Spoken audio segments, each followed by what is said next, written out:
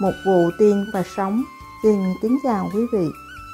Xin mời quý vị cùng nghe bài đọc đức tin với tựa đề sắc lệnh viết những con kép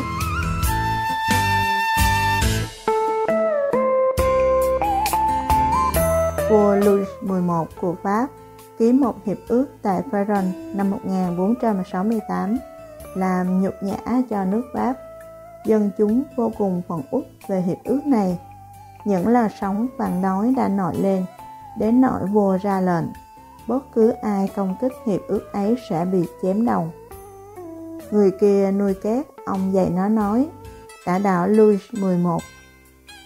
Một hôm, vua đi dạo phố, nghe con két la lên, đã đảo Louis 11.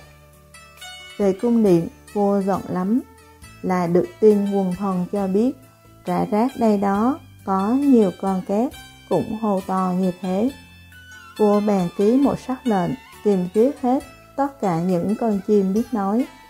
Từ đó, một bộ phận quân đội ở Paris chuyên đi tìm kiếm những con két, con sáo, con nhồng, đem vận cổ hết. Có những sắc lệnh khôi hài đến thế, song nó là sự thật.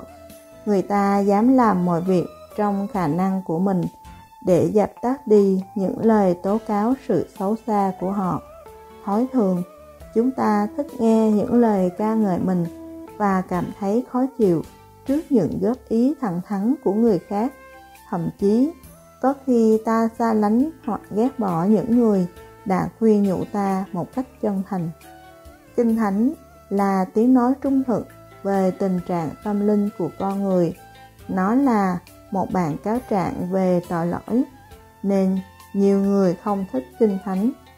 Lời Chúa len lỏi vào tận những ngõ ngách sâu kín của lòng người để giúp họ nhận thức được căn bệnh tội lỗi đáng bị đoán phạt. Có những tấm lòng thành tâm tiếp nhận, song cũng có những người ghét bỏ kinh thánh. Ma quỷ không muốn con người nghe được những lời cảnh tỉnh hoặc bằng cách tiêu diệt kinh thánh hoặc bằng cách làm cho chúng ta xem lời Chúa là không thực tế. Hãy trân trọng những lời cảnh tỉnh chân tình và biết ơn người nào đã khuyên nhủ chúng ta.